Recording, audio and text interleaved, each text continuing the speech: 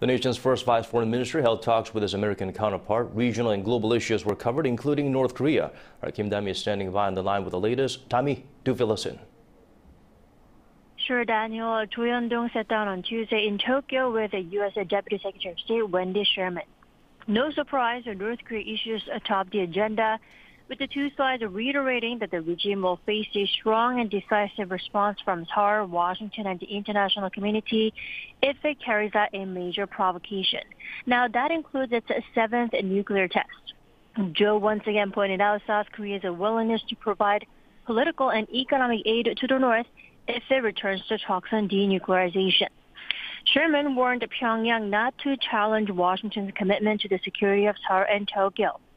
She then made clear that our country is using a wide range of defense measures, including nuclear and missile, to safeguard its allies.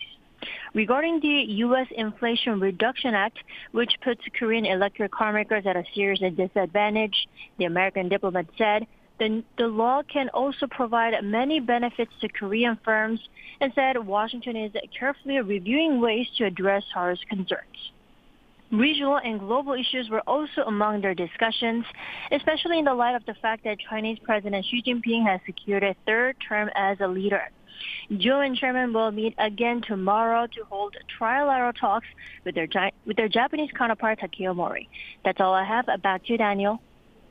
All right, Dami, thank you for those updates.